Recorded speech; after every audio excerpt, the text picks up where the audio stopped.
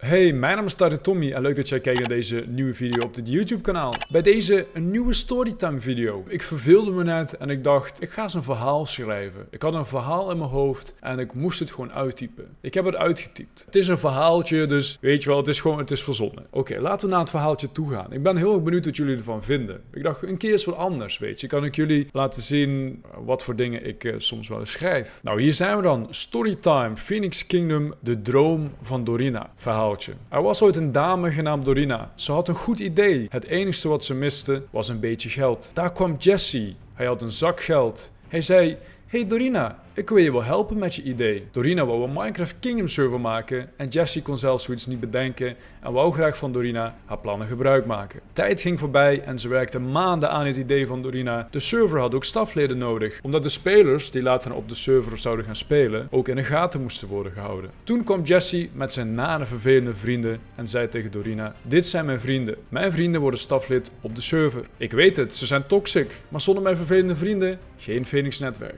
Dorina had geen keus omdat het de enige manier was hoe ze van haar prachtige ideeën waarheid kon maken. Ze accepteerde het, maar met tegenzin. En zo begon het avontuur van Phoenix Kingdom. Maar al snel ging het mis. Jesse ligt de hele dag in bed. Jesse is onbereikbaar. Problemen beginnen zich te vormen op de server, maar Jesse blijft in bed liggen en is niet aanspreekbaar. Tommy hoorde al lang geleden van een prachtig idee voor Phoenix Netwerk en zat enthousiast te wachten tot hij eindelijk Minecraft mocht spelen. Het moment was eindelijk aangekomen. Tommy, zijn toen een tijd twee vrienden, Dorina en Jesse, openen de server. Wel ruikte Tommy onraad. Waarom spelen al die bekende nare spelers op de server? Waarom reageert staf zo naar als Tommy ze vertelt in het ticket dat hij wordt lastiggevallen? Tommy snapt het niet en wordt boos en bedroefd. Want Tommy die wil graag bouwen in zijn kingdom en grinden op de server. Maar de vervelende spelers en de nare stafleden verpesten het gameplezier. Tommy is boos en probeert zijn mening te delen bij de stafleden en Jesse, zijn vriend. Niet weten dat het geen lieve mensen zijn en dat ze geen goede intenties hebben. Ze willen de problemen niet oplossen. Ze houden van problemen en ze houden van macht. Jesse, Jordi, Richard en Luke voelen zich zo geweldig. Tommy ziet het al helemaal voor zich hoe ze praten tegen elkaar. We hebben het wel bereikt, hè jongens, zegt Jordi. We hebben het idee van deze Kingdom Show van Dorina weten af te pakken.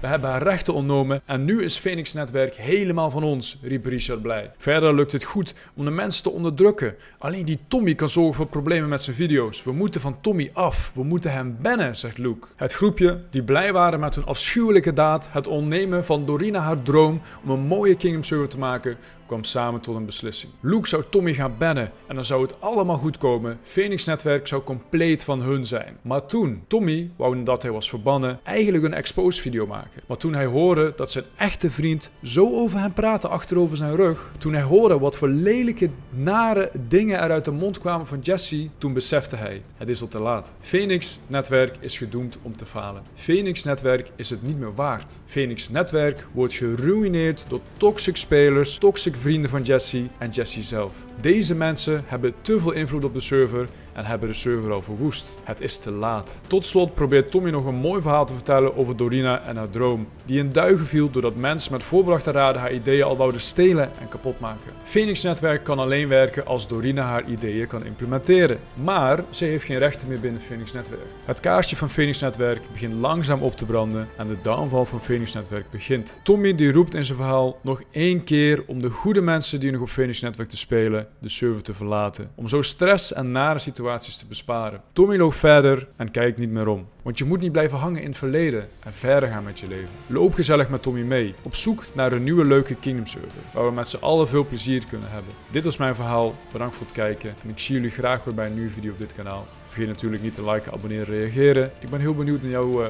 reactie onder dit verhaal. Bedankt voor het kijken mensen en tot snel bij een nieuwe video. Doei doei.